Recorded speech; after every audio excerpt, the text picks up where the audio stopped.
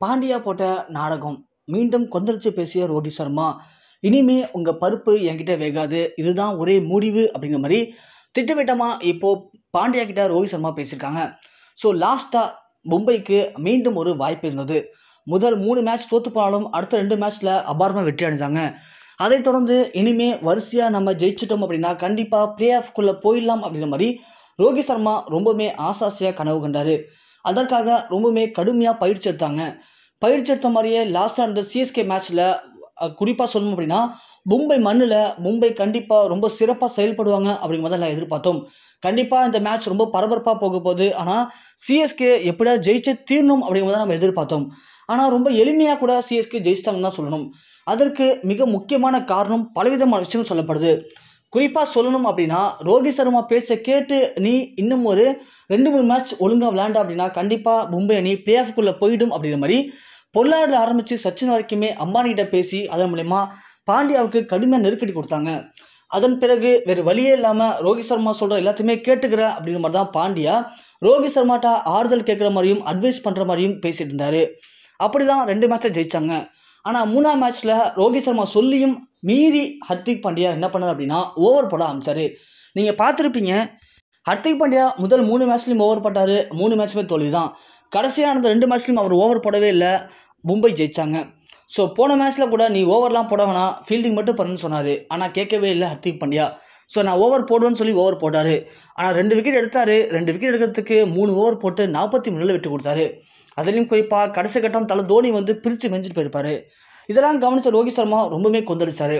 இருந்தாலும் பரவாயில்ல பேட்டிங்கில் நல்ல ஒரு பர்ஃபார்மன்ஸை வெளிப்படுத்தலாம் நினச்சாங்க. ஆனால் பேட்டிங்லேயும் ரோஹித் சர்மா மட்டும்தான் வெளிப்படுத்தினார் தவிர மற்றபடி சொல்கிற அளவுக்கு யாருமே சரியாக ப்ளே பண்ணல. அதுவே மிகப்பெரிய ஒரு அதிருப்தி. குறிப்பாக நல்லா விளையாண்டுட்டு இருக்க நேரத்தில் திலக் வர்மாவை அவுட் ஆக வச்சு ஹர்திக் பாண்டியா பண்ண ஒரு சில மோசமான விஷயங்கள் ரோஹித் சர்மாவை மிகப்பெரிய பாதிப்படைய வச்சுது. அதுவே மும்பை ரசிகர்கள் எல்லாருமே கொந்தளிக்க காரணமாக அமைஞ்சது. இதுவே மும்பை ரசிகர்களுக்கு மிகப்பெரிய ஏமாற்றத்தை அடிச்சது அதனாலேயே ரோஹித் சர்மா கஷ்டப்பட்டு அடிச்சும் கூட சொல்லப்போனால் சதம் அடிச்சும் கூட தோல்வியை தழுவினாங்க இப்படியாப்பட்ட நேரத்தில் எல்லாத்துக்கும் காரணம் பாண்டியா அப்படிங்கிறது எல்லாருக்குமே தெரிஞ்சு போனது. இதனால ரோஹித் சர்மா இனிமேல் என்னால் இங்கே விளையாட முடியாது நான் இந்த அணியை விட்டு விலக போகிறேன் அப்படிங்கிற மாதிரி சச்சின் டெண்டுல்கர்கிட்ட சொல்லி அம்பானிகிட்ட அந்த நியூஸை கன்வே பண்ணியிருக்காங்க. அந்த நேரத்தில் அம்பானி என்ன சொன்னார்னு தெரில இப்போ பாண்டியாவா நேராக வந்து ரோஹித் சர்மாட்ட பேசியிருக்காரு. ஸோ நான் பண்ணதெல்லாம் தவறு தான் உங்கள் பேச்சை மீறி நான் செயல்பட்டு தான் இந்த தோல்விக்கு காரணம் அப்படிங்கிறத நான் உணர்ந்துட்டேன். ஸோ என்ன நீங்கள் மன்னிச்சுக்கணும். இனிமே கண்டிப்பாக வரக்கூடிய எல்லா மேட்ச்களையுமே நீங்கள் என்ன சொல்கிறீங்களோ அதை மட்டுமே நான் கேட்குறேன் அப்படியே கேட்டு செயல்படுறேன். இதோட இந்த பிரச்சனையை விட்டுடலாம் அப்படிங்கிற மாதிரி பாண்டியா வந்து ரோஹித் சர்மாட்ட பேசியிருக்காங்க. அந்த இடத்துல தான் ரோஹித் சர்மா யாருமே எதிர்பார்க்காத மாதிரி இன்னும் நீ எத்தனை வாட்டி இது மாதிரி நாடகம் ஆடுவ? நான் எத்தனை வாட்டி கேட்டுட்ருப்பேன்னு நினைக்கிறேன் ஸோ இனிமே பேச்சுக்கே வேலை கிடையாது. நீ கேப்டனாக இருக்க வரைக்கும் இனிமேல் நான் கண்டிப்பாக அந்த டீமில் விளையாட போகிறது கிடையாது அப்படிங்கிற மாதிரி ரோஹித் சர்மா பாண்டியாட்ட கடுமையாக பேசிட்டு அங்கேருந்து கிளம்பிட்டாராம்.